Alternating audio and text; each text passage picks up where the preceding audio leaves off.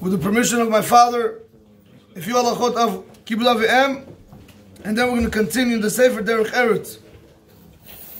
Today we want to see two halachot. Is a person allowed to call his father by the last name? Sometimes people are going to ask you, what's your father's last name or what's your mother's last name? Are you allowed to say their last name? Or do you have to first give them a title like saying my mother, my master? Or can you just go ahead and say the last name? So he says over here, "V'dad dehada asur likra'o b'shemo hu dafka b'shemo haprati." This is that we said yesterday that you're not allowed to call your father by his first name, whether he's alive or not alive. That's specifically by his first name, the people, the name that people call him. Aval, however, likra'o b'shem mishbechato mutar. But to call him by the family name, it is going to be permissible.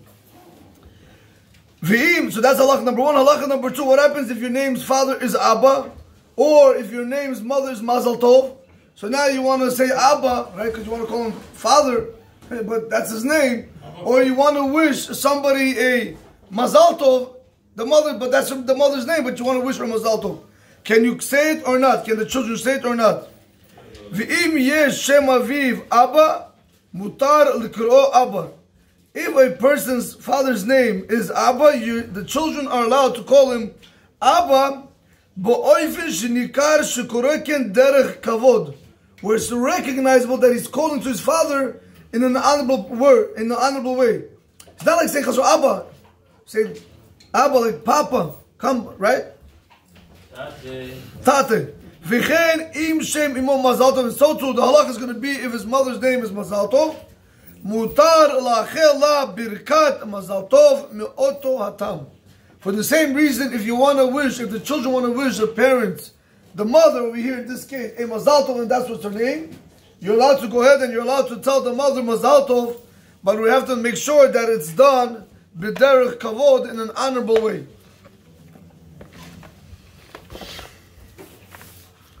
Rabotai, the we're starting Perek Aleph, Bezrat Hashem, Bli Neder, Derech Eretz Kadmal Torah, that's what we're going to try to speak about. It's a whole Sefer. Before I do begin, somebody asked me a very simple question, and that is, why do you tell the people the way it's written in the Torah? Why don't you sugarcoat the Torah? Chas v'shalom, correct? Why don't you tell nice stories, right? Make it easy on them so they can go home and sleep nice and feel better. So tomorrow they can come back and they can love you and honor you more. Rabotai, number one, number two, we don't need no people to love you, no people to honor you. The Torah tells us if you are clean before Hashem, you'll be clean before people. If you do what Hashem wants, everybody else will come and honor you and love you. That's not what you're doing it for. You are here to serve Hashem. So we only have to do the Ratzon of Hashem. But Rabotai, I want to give you a real life example where a lot of us can relate to why it is very dangerous not to sugarcoat anything when it comes to these things. I'll explain to you why. Rabotai, what happens if a person right now has to go to a doctor? For whatever reason, he has a certain low in shalom illness.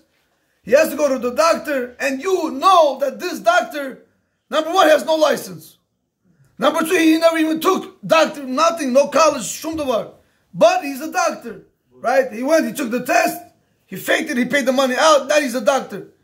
But the guy doesn't heal. All the guy does is kill people, chas v'shalom. He's a very bad doctor. Tell me, if your cousin wants to go to, the, to this doctor, tell me you're going to tell the cousin to go or not to go? Huh? You're going to tell the cousin that this doctor is a bad doctor or not? Why? Be nice. Let them go. Let them find out for themselves. Because after then it's going to be too late. No, then he's going to be dead by then. Chas v'shalom. Rabotai, over here is the same thing. If you can understand this whole concept by materialism, where it's only physical body, it's only your body, there's nothing there. You're only trying to save the body. But how much more so when it comes to a person's neshama? Because you know it's wrong. you know it's asur. And you're not going to say anything. It's as if it's nothing happens. Right? A person sits in, the, sits in a mixed party. Man, woman dancing, woman come half naked. Husband sitting drinking. L'chaim, l'chaim. The balabai, the guy who's making the party, has people, woman dancing on the stage. Everybody, three, four hundred people, not one person cares. Rabotai, listen to this carefully. Boret Samnoy.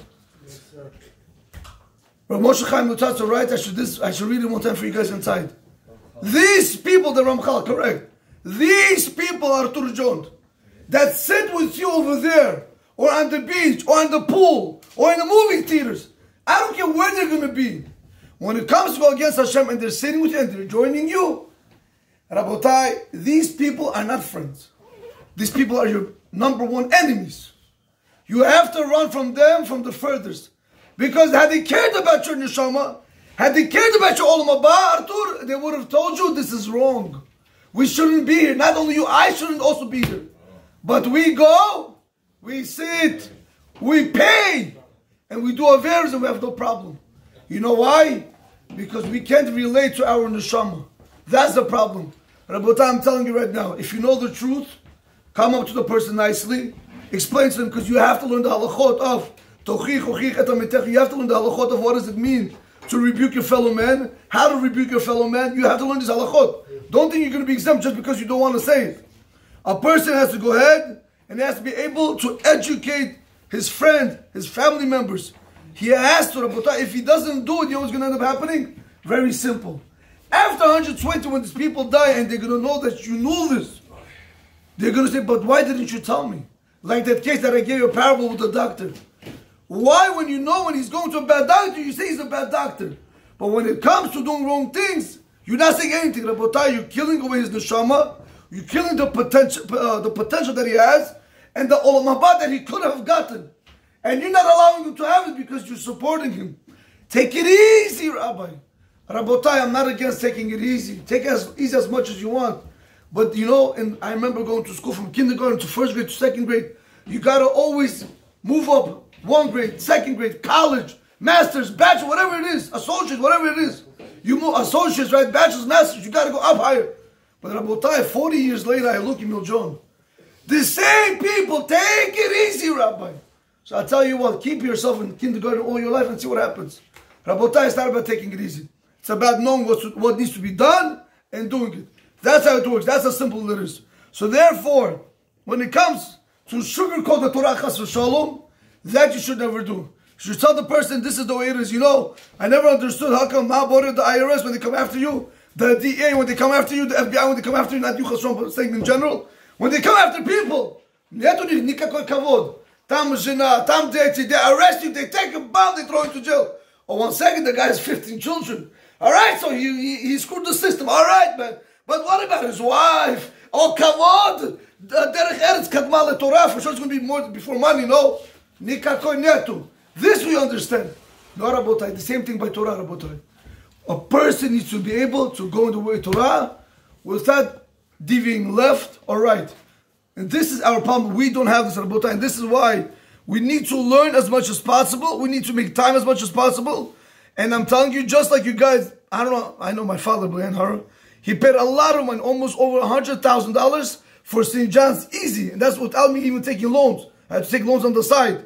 Easy for me to be able to go to St. John's, get educated, etc.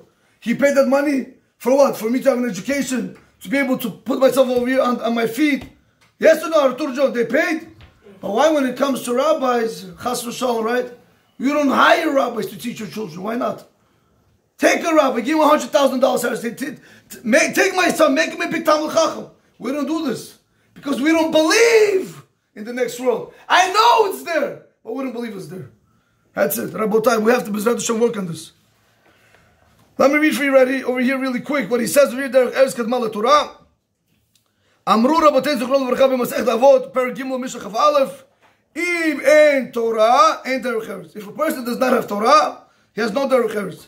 Ain't Derek Eretz, ain't Torah. But if a person doesn't have Derek Eretz, ain't Torah. Rabbi, what does it mean if a person does not have Derek Eretz? There's no Torah. Umeve'er Rabbeinu Yon, Rabbeinu Yon explains, listen to this carefully. Ha-Torah, lo oilom eno shochenet beguf, sheeno bal midot tovot. This is very important. The Torah will never rest in a body that if that person does not have good midot. So when a person can scream at his wife, curse his wife, or use foul language, and then he learns Torah 20 hours, 24 hours, 7 days a week, he ain't got no Torah. He got hot air, but not Torah. You have to be able to realize, you have to be able to see this. If you see Chas Shalom, people with beards and black hats, and they're sitting in place and they're doing things they're not supposed to do. Oh, Rabbi Del, Rabbi Moshe Del, Rabbotai, this Rabbi and you are not going to be in the same place in the next world. Who knows where he's going to be, where you're going to be. You're going to say, oh, but that Rabbi, which Rabbi? Which Rabbi? In this world, you know how we say in this, in this world, all for one, one for all, correct?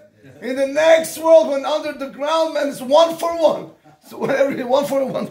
Now it's already said about time. Nobody's not going to care this, that. Hashem is going to take each thing into, into calculation.